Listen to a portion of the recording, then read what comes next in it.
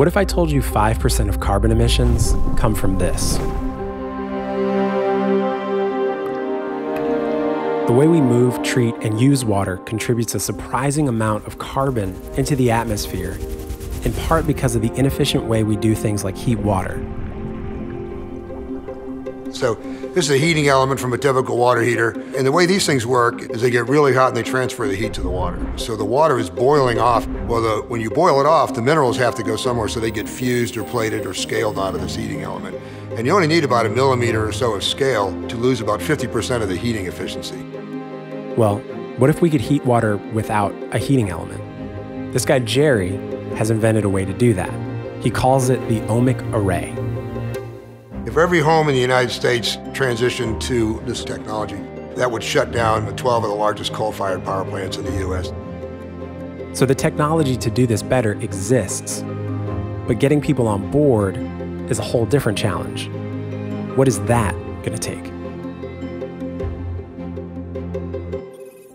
This is Make It Count, a series on environmental innovations and the math it takes to bring them to the masses. You know how when you're heating water to make pasta, it takes a while for it to come to a boil? Watch this. One, two, three.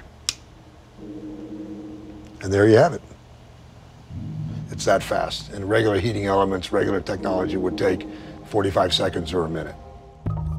How quickly we can heat water might seem trivial, but how energy transforms from one form to another, like kinetic energy into heat, or electricity into photons, these transition points are when we lose a lot of efficiency. In the water heating industry, the old technology is still the new technology. It's the same as it was since Ohm invented it in 1851. So this gets really hot, transfer the heat to the water, like your toaster wire, takes a while to heat up, takes a while to cool down.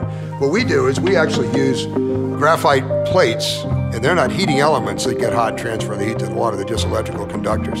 So we have multiple pairs of these things that sit in the water and we pass controlled electrical currents through it. And so our temperature control is so good that nothing in the whole system gets any hotter than the temperature that you want. So if you don't boil the water, you don't create the scaling problem. The way the ohmic array technology heats water is unique, but it's not the only tankless water heater on the market. In fact, all tankless or on-demand water heaters save energy and water, up to 2,100 gallons of water every year on average, because you're only heating the water you need to use. But if tankless water heaters are so much better than their predecessors, why aren't they ubiquitous? The challenge is the installation part of it. So for homeowners with an existing electric water heater, there are costs related to removing the old one, installing the new one, and then connecting it to a new electric power source. Even though they're more efficient, these tankless water heaters have a huge power requirement when they're running, up to around 100 amps. Most homes have around 100 to 200 amps coming in total.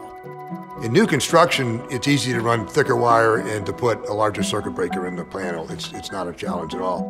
But it's more of a challenge in retrofit. So for many homeowners, this would mean rewiring, retrofitting, installing new subpanels, paying a technician to do this. You get the idea. But in most places, you get your money back and get a payback of like less than five years with the Model 3 just by installing it. The average house spends about four to six hundred dollars a year on water heating. Systems like Jerry's would save up to 40% on heating costs. That's about $200 a year. Over five years, that covers the cost of the unit and starts to pay off installation costs. So we're trying to make it easy for people to do the right thing for the environment. Even though the economics of these systems can make sense over the long term, the cost is more than just your money.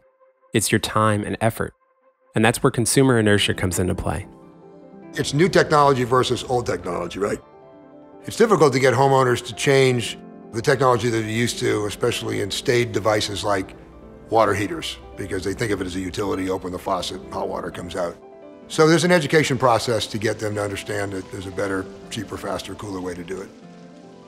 There are other environmentally friendly ways to heat water, including solar and geothermal options that are also increasing in affordability. Innovations like these mean that the next time we need to install a new water heater, the more efficient option might also be the more affordable option, which would incentivize the adoption of these technologies on a global scale. Technology is advancing so quickly, and there are so many incredible opportunities that people have to save water and energy in the environment, and they're just becoming more and more prevalent, and I'm just excited to be a small part of that trend. It's really invigorating for me.